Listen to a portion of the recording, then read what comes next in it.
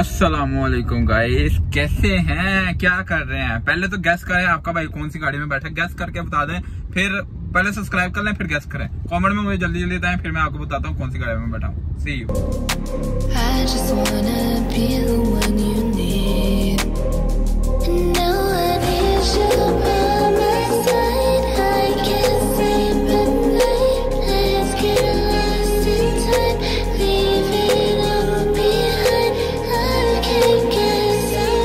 Civic rebirth चलाने के बाद आपके भाई को बहुत ज़्यादा चेंज दिख रहा है इस गाड़ी में। गाड़ी तो आपने देख ली है, जो सी गाड़ी है। इलांट्रा बेसिकली चला रहा हूँ। इसको इलांट्रा 2.0 कहते हैं। बेसिकली 2000 सीसी इसके अंदर इंजन है। अगर जिसको नहीं पता उसके लिए, बाकी सबके पास तो आजकल वो चल रही है। ये बेसिकली मेरे भाई की गाड़ी है। तो मैंने अभी तो फ़िलहाल मेरे पास बाद में भाई के पास होगी तो अभी तो आपका भाई इंजॉय कर रहा है इसकी राइड एंड एवरीथिंग यार मैं ना सिविक चलाने वाला हूँ। सिविक से बहुत अच्छा है इसका comparison rebirth note Civic X rebirth चलाने वाला। तो उसके साथ जो कंपैरिजन करने लगा ना आपका भाई, वो आप सुन लें। या इसका स्टेयरिंग का जो साइज़ है स्टेयरिंग व्हील वो जरा सिविक से बड़ा है। जरा राउंड और जरा बड़ा है। तो इसको चलाने में जरा प्रॉब्लम होती है as compare to Civic Civic जो चलाता है, उनके लिए छोटा सा स्टेयरिंग दिया होता है तो वो जरा इतना मुश्किल नहीं होता। ये जरा बड़ा स्टेयरिंग है। उसके अलावा 2000 सीसी यार पेट्रोल की बहुत ज़्यादा होड़ है। कहीं, कहाँ पे सुई होती थी? ऐसे जाती है, इस शहर के अंदर भाई ये टोटली नॉट रेकमेंडेड बहुत ज़्यादा पेट्रोल खाती है सिविक से थोड़ा सा ज़्यादा खाती है। यार रिबर्थ उतना ही खाती थी। चले, जो भी है, गाड़ी लेकिन आप इंजॉय करें, गाड़ी के अंदर वाले शॉर्ट्स आपको दिखाई नहीं है। गाड़ी चेक करो।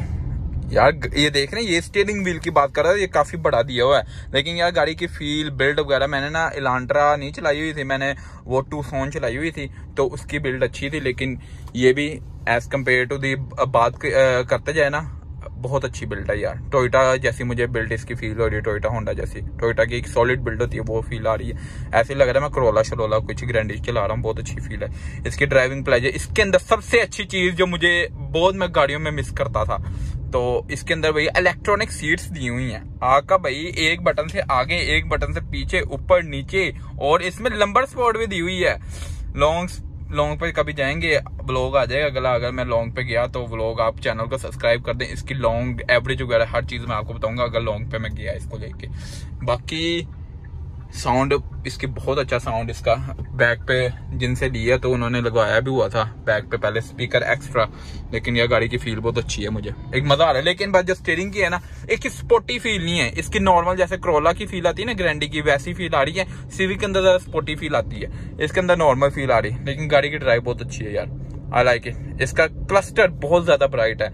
रोशनी बाहर धूप इतनी ज़्यादा, फिर भी आप क्लस्टर देखिए कितना ब्राइट विजिबल हो रहा है। बहुत अच्छा मुझे लगा इसका क्लस्टर बाकी इतनी ज़्यादा कोई इन्फॉर्मेशन नहीं है। गाड़ी का एक रिव्यू भी आएगा टोटली इस गाड़ी का तो चैनल को सब्सक्राइब कर दें। बाकी ये छोटा सा इंट्रो था इस गाड़ी के बारे में इलांट्रा ये बेसिकली 2021-22 वेरिएंट है तो बहुत ब्लूटूथ कनेक्टिविटी इज़ ऑसम एक और चीज़, आके भाई ने उधर मोबाइल चार्जिंग पे भी लगाया हुआ है।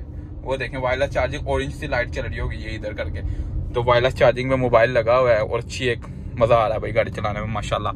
बाकी कॉमेंट में मुझे बताओ, कैसी लगी है गाड़ी आप लोगों को? बाकी रिव्यू शिव्यू जो भी बंदा इस गाड़ी के बारे में कुछ भी जानना चाहता है तो एवरीथिंग आके भाई ने एक दिन के अंदर गाड़ी को रट लिया है। हर एक चीज़ के बारे में बताया ओके बस पूछ लो जो कॉमेंट में पूछना चाहता है लांट्रा के बारे में। गुड्डू। तो अब आपका भाई गाना सुन ले, फिर आपसे मिलता है।